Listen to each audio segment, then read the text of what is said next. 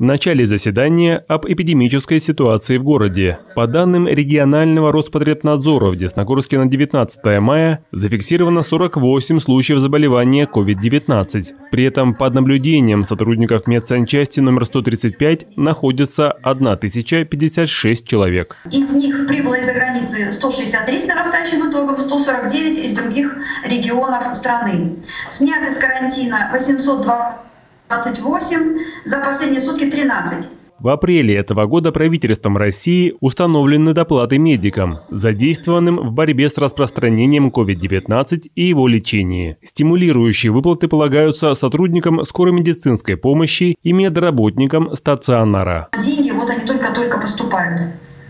То есть бухгалтерия и экономисты работали все выходные, то есть все расчеты произведены но в соответствии с этим 484 и 415 постановлением.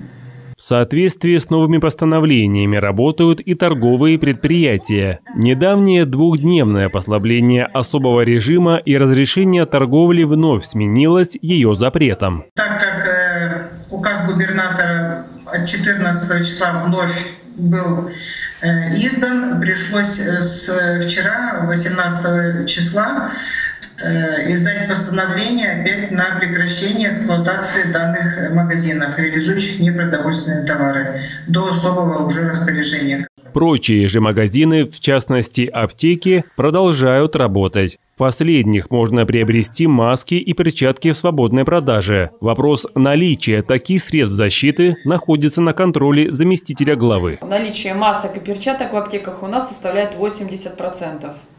А также у нас идет реализация масок а, в торговых объектов, непродовольственных товарами.